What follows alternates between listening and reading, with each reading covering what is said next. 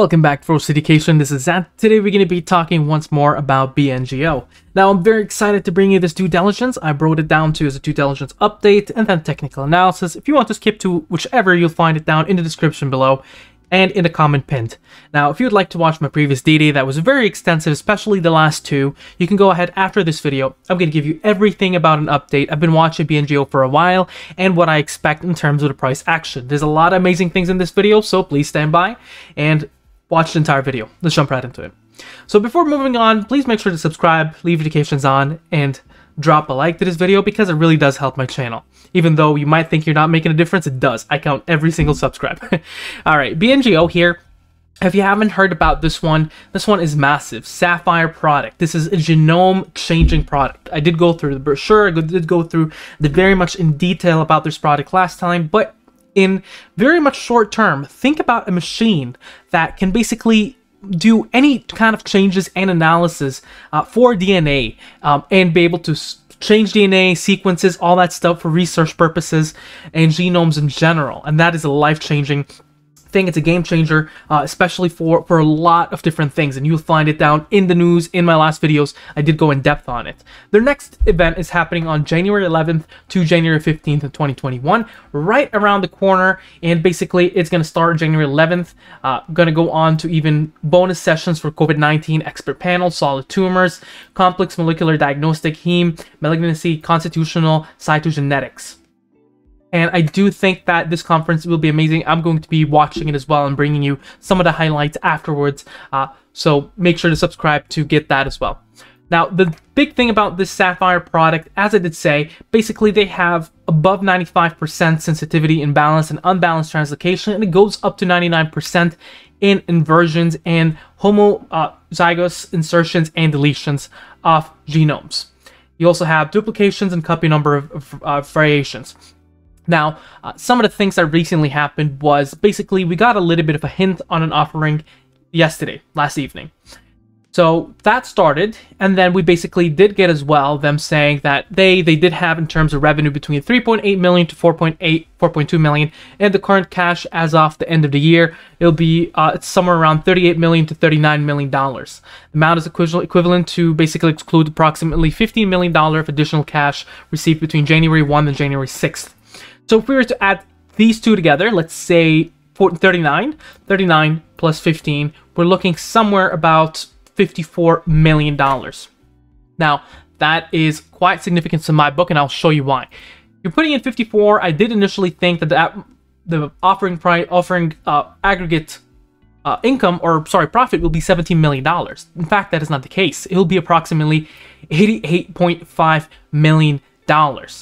So quickly on, just if someone here is going to uh, make fun of my math, uh, just to make sure we're very accurate, we said 54 million plus, uh, we're going back here, 88.5, so 88. We're looking at $142.5 million. And why is that very substantial? By the way, it's closing on January 12th. It's very substantial because if you go to the balance sheet and you go to their quarter balance sheet, you look into their uh, annual, or sorry, total cash well, previously it was only 18 million.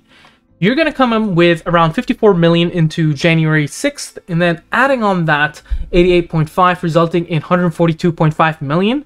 Your total debt will be smoked right out. Your total liability here is 26.7 million. Mark my word, they're going to come up with a PR saying they are debt free. That is going to happen soon. You're going to pay off some of that debt, or I believe even more, all of it. I mean, when you're sitting at 42. 142 million point five. 26.7 that doesn't drop you back. You're still above 110 uh, in terms of cash and that is a lot. Uh, now i know it's 142 here to go minus 26 you're looking at 115 116 let's say expenses of offerings in itself it's probably going to be 110 million.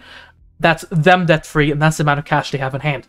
And if you go to annual that is a lot more cash than they ever had at the end of the year even in the last quarter and that is massive. That alone, in terms of a market cap right now, they have 720. After this one, it sets them at uh, a really good amount of cash on hand per market cap. Uh, especially if you were to go to their financials, it puts them in a better position. Uh, so if you go to financials here uh, and you go to their balance sheet in terms of last quarter, their total current assets 29.2 million. You add around there, around let's say 110 million, you're looking at 130 million. So it definitely improves their statistics of price per book. Now, a big thing we're talking about this one is uh, their intrinsic value. So the price per book off 47 uh, times. That is a lot bigger than the 2 to 3 on SP500 and price over sales of 98. But we're very much talking about the intrinsic value and the game changer ability of this one. So moving on to quickly towards technical analysis, because I was a little bit critical on it last time and there's a bit of changes. If you haven't subscribed, please, please consider subscribing. And if you would like to join our Discord server, you'll find it in down below. It's basically a chat room. We talk during the day. We highlight the different volume stocks uh, and no pumping allowed. So it's going to be a safe environment there. But let's jump right into technical analysis, and I hope you actually subscribed already. So on a one-week perspective, things look still really bullish. MACD is flying up. Momentum very strong. ADX it's giving you a hint here about 50. That's where I start worrying. It still has a little bit of a leg up, so we're going to count ADX a little bit aside because I've seen stocks go up to 60 and not break. It's just a warning saying, hey, there's a pullback, and look at that today, uh, this week, we went from 724 to a low of 4 bucks. I think that's a decent pullback to count. William percent R is somewhere around neutral. It's not overbought as of this week, and that is a good thing. Now, one day things look a little bit mixed. ADX is approaching 60, but still showing a bullish movement. the moving averages are extremely bullish. 347, that's the 10 SMA, is above the 30 SMA of 211. 111 is above the 068, that's the 50 SMA above the 200, uh, 200 SMA. Everything is pointing upwards, and that's amazing. The trading action zone where you can expect reversals is between 347 and 211. That's where you expect the majority of your reversals to happen. Now, the next thing here is William percent R. This one is sitting somewhere uh, Similar to what we've seen on the one week, it's not overbought, it's somewhere closer to neutral. My only concern is the MACD is trying to pull back. It's still somewhat stable, but still trying to pull back a little. Usually, what I'm expecting is that it's not going to go negative in terms of the histogram, but it's going to attempt it and then get a rejection and move back forward. Now, on a two-hour perspective, things are looking insanely beautiful here. Moving averages were about to go bearish for the end of the day, and then it just did a 360 and then pushed back forward to make sure it stays bullish. And I like that. Now, on the William percent R, yes, it's overbought in the extended hours. It jumped something like 6-7%. And on the ADX, we're looking that there is now a potential of another new trend, a bullish trend forming, and the MACD is starting to look bullish. A bit of technical items. If you're not sure what I'm talking about, there's a video uh, a playlist that I made down below. It's a little bit outdated, but it has every single thing of the indicators I talk about. So in terms of the moving average band, it's way far, but they're moving up forward and it's expanding. So that is good. That's where we're going to take it at. But for the sake of the argument, 221 on the, on the top, 201 in the middle, and 181 in the bottom. So we got that one. Uh, the next thing we're looking at is the stochastic fast and stochastic slow.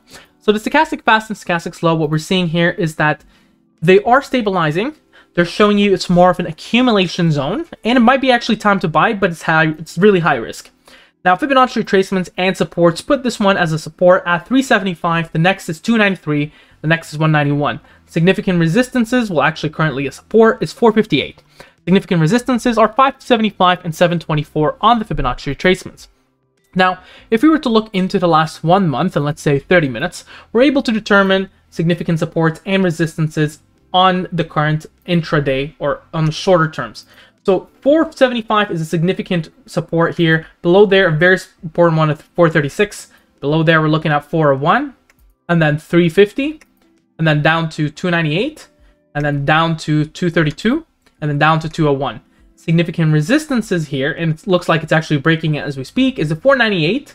Above there, we're looking at uh, 516, and then above there, we're flying off to 564. If we break the 564, we have the 6 buck resistance. Above there, 635. Above there, we're looking at 678. And if it does break that, you have the 724, and then you're easily flying. Now comes to the question to Ed, what do you think is going to happen with this one? I'm trying to make this video short, so if you would like to get really in-depth about investment or investing in this one or the future of this one, watch my previous two videos, especially not the last one, the one before that, that's very important honestly, in terms of this one, I do definitely think that we're back on track. This thing is probably going to curve back up. It's probably going to see the 724. It's going to test it and it's going to shoot right back up. Investment wise, I definitely like this one. Saphyr is on my green books and have been on a while. Even back when it was around 50, 50 cents, 70 cents, I still loved it. And just because right now it's a little bit above its price over book, it doesn't mean intrinsic value is uh, not going to catch up. And doesn't mean that intrinsic, it doesn't have much of a push. And let me show you something. So we're looking at a price for book of 47 here at 98. Now, let's think about the one of the companies that did really amazing this year. Let's take a look about Tesla here. What is their price per book? It's around 5204 and price over sales is around 2961. Let's take another look about NIO. NIO statistics, you're looking at, well, this price per book is actually not very accurate. We need to go to Finviz on this one because I've done that one before right here, and you'll see that their price over book is around 57.76, 48.12. So it really is looking like this massive stock market bubble kind of way. Uh, it's not far off from the valuation of Tesla and Neo, NIO by the price over books, etc. So that is something to consider. And I even think Tesla's actually price over book is a little bit higher than 50. Uh, oh, it's 51.43. So all I'm saying is that don't worry about the price of her book. I think the intrinsic value of this one is massive and it's going to see a lot of big, massive future. What do you think about this one? Make sure to mention down in the comments below. Share, subscribe, and like, and have a wonderful day.